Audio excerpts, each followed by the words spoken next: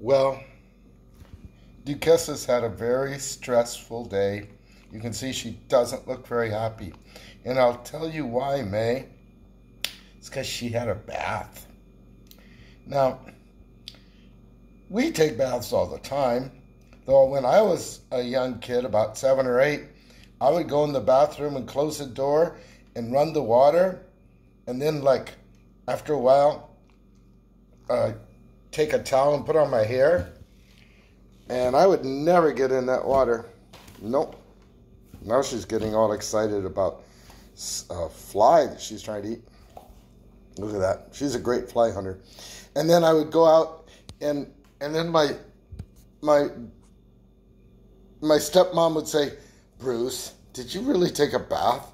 Oh yes, I took a bath. But I hadn't taken a bath. I don't know how long I was doing that. I was like in third grade or something. But, anyways, she sees me with the towel and with the hose, and she goes, hides by the door. And if I call her, she won't come.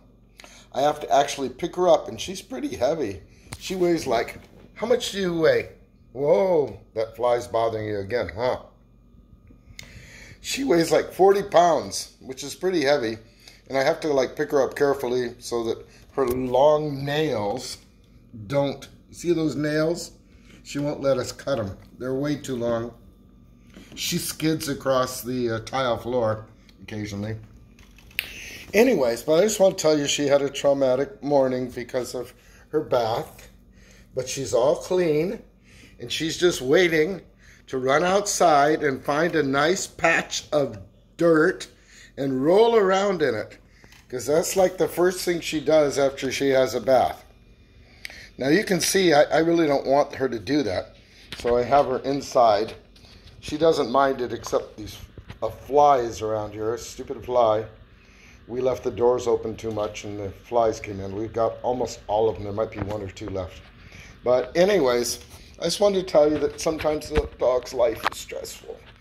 And, and, she, and she, you know, between getting to eat chicken livers and fish and broiled chicken and sometimes a piece of ham and left and scrambled eggs and the very best cow uh, dog chow. Um, her life is difficult. She has to pick like which flea to itch well, she shouldn't have any because I used two different kinds of flea soap shampoo. But anyways, just wanted to tell you that sometimes she's not really happy about her life and she seems a little down right now.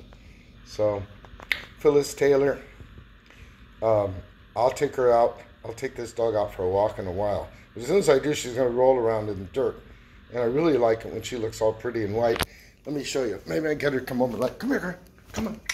Come on. Look at that. Look at that white coat. Look at that. Look at that shine.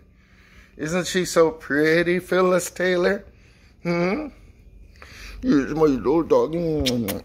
Now I don't really kiss yours to get close. Yep. All right. That's all for now. Bye.